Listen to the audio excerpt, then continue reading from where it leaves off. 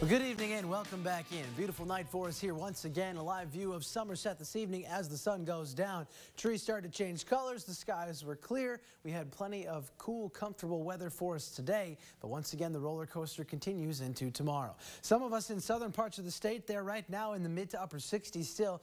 Did break into the 70s earlier today. We were upper 60s here in the Lexington area, still dealing with those 60s now. But of course, temperatures will start to drop as we head into the overnight with the sun setting. Temperature change from now at this point 24 hours ago, still a good 5 to 10 degrees. At our high temperature peak today, it was a good 10 to 15 degrees in some spots. Overnight tonight, we're going to be dropping back down into those mid to upper 40s, and then we're going to take a shot at 80 tomorrow afternoon. Thanks to some warmer air coming up out of the south, a warm front with that, we're going to be seeing another warm one in store for the day tomorrow. Then as we roll into the weekend, though, another cold front comes in, and it's going to flip this around. Okay, highs in the upper 60s today, going towards 80 tomorrow. A more tropical theme anyway, not humid, but it will be warmer. Winds will be breezy too out of the southwest for a good part of the day. Gusts up to 20 miles an hour until that cold front comes in and flips them to the northwest into early Saturday. That's going to knock us back into the fall-like feel, much like what we had today, and maybe even a little bit cooler.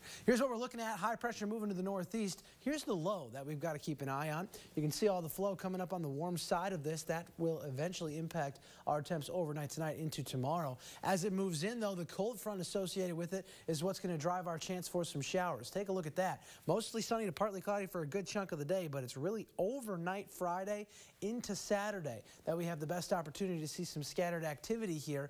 On some isolated instances, there might even be a little bit of thunder to roll through. That'll be something fun as that front comes in. As we go throughout the day on Saturday, general clearing will take place, but we'll be moving into a quieter, cooler weekend.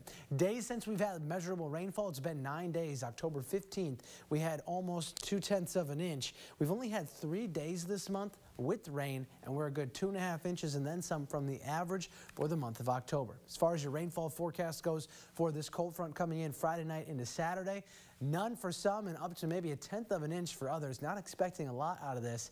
And again, not everybody's going to be in on the rain. Plus, once that front comes through, the colder air takes over. Here's the front coming in tonight. That's going to be warmer tomorrow. But once that cold front passes by, we're looking at temps struggling to hit the mid 60s into the weekend. If you were worried about that sticking around, don't because Mother Nature likes to keep the game going. Warmer air comes back for us as we start to roll into the middle parts of next week. And we're talking about a steady climb into the mid to upper 70s again with no rain chances in the mix. We might just flirt with 80 a couple more times next week.